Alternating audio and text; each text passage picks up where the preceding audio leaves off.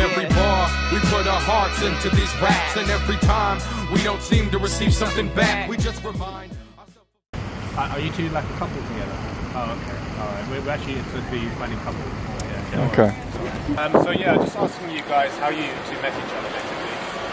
Uh, yes, so I'm originally from Toronto, and he was living in New York, and we had a mutual Paris. friend. Yeah, he's from Paris, and uh, we met through a mutual friend. I went for a weekend to visit New York, and we met, and that was it. All right. So did, did you meet? Do you like say like your previous relationship? Did you also meet them in the same way, like through a social circle, or was it?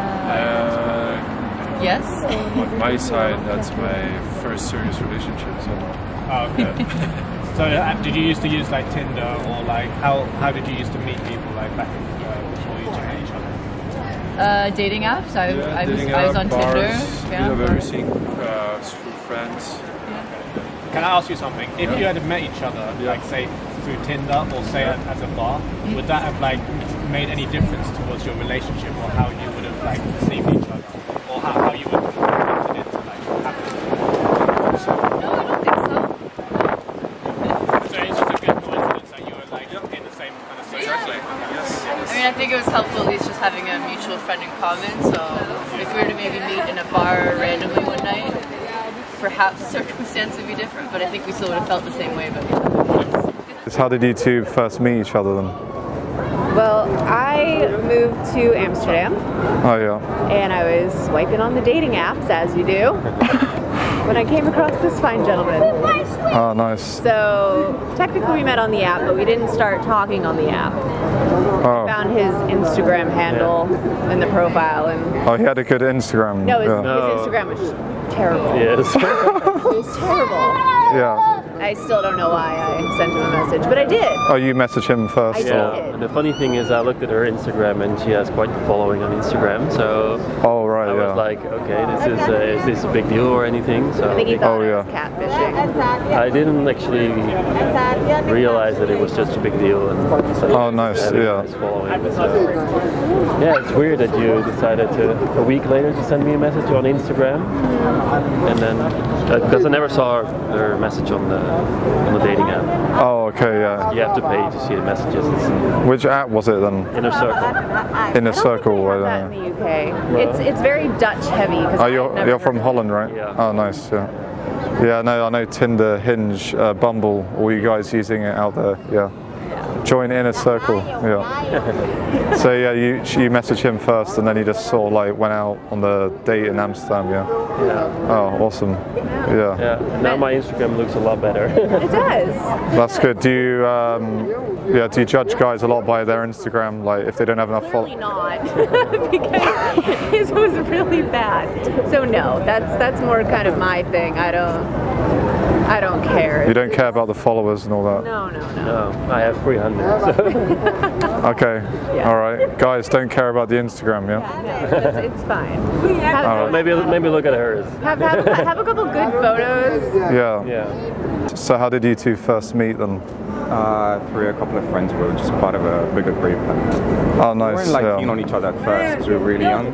Oh, okay, yeah. We were on each other. didn't pay attention to me. So you, you liked him, but he was kind of ignoring you in the Yeah. we're A little bit, yeah. I'm not gonna 13. lie. Okay, yeah, and um, so sort of like social circle, Yeah. yeah, friends exactly, of friends of friends, Yeah. like uni and stuff. Yeah, yeah. Awesome, yeah. It's like 12. Oh wow, 12. So you've been going out a long time. Yeah, yeah, but Let's say so. Let's say so, yeah. Nice. Where are you two from then? Uh, Romania, both of us. Oh, Bucharest, is it? Uh, not No, really. no, you no, probably no. don't know the city in much, the eastern But part. yeah. Oh, nice. Yeah. So guys, social circle. That's the way. Yeah. Uh, now a lot of people, we you know, they're using online dating apps. You know, Hinge, Bumble, uh, Tinder, this kind of stuff. We Yeah. both tried that, but It, does, it wasn't good, or no, yeah. no, no, doesn't work More of a like, you know, jokingly. Oh, okay. Yeah. Um, any advice for the guys out there who want to meet girls? Like, what would you recommend? Trust. Just, And- just, just wait for it. I don't know. Just wait for it. yeah. All right. That's the Yeah. best I got. Yeah. All right, guys. Well, just wait for them, and they'll come to you. Uh, you know, you just see random couples. They're normally going to meet through their social circles, and they do seem quite happy with each other. So obviously, social circles definitely work. They can work, and they definitely do work. And you know, would would we recommend social circles? Not particularly. Well, no. obviously we would. We would I if mean, if yeah, if, if. there's a, a girl that you like in the I know, social obviously circles. do it. I'm not. But, yeah, yeah, a lot like, of guys don't have it though. That's the thing. Exactly, yeah, They don't have a massive social circle. Um, Yeah. Yeah, that's the thing. Like, you know, if you happen to have that nice girl, that hot girl that's that's into you, and she's you're into her, she's into you, then by all means, go for that girl in the social circle. But obviously, not everyone's that lucky, and that's the, that's the thing, really.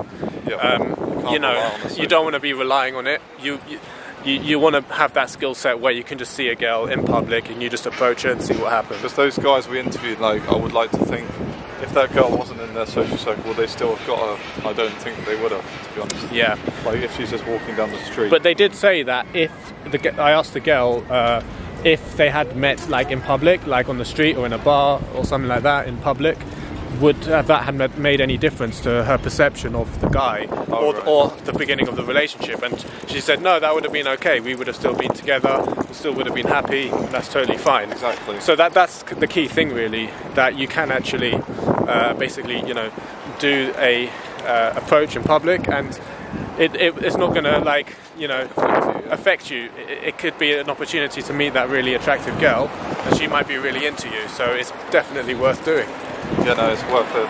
because otherwise you know most guys when it comes to social circle how many options do they have maybe, Maybe four, five. four if they're lucky you know it's, a, it's just yeah it's just limiting yourself she might not be single she might not be into Probably you got a lot of other guys as well. in the she'll social have a circle. million other girl, guys that you're competing with as well.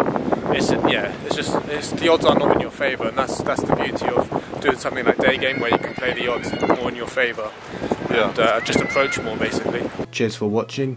If you'd be interested in one-to-one coaching with me where we'll go out in public and work on your approach of girls, or more generally with your social confidence, please visit my website ed-game.com. Hey, yo. Hey, yo. With every bar, we put our hearts into these raps, and every time we don't seem to receive something back, we just remind ourselves of those that's lying on wax.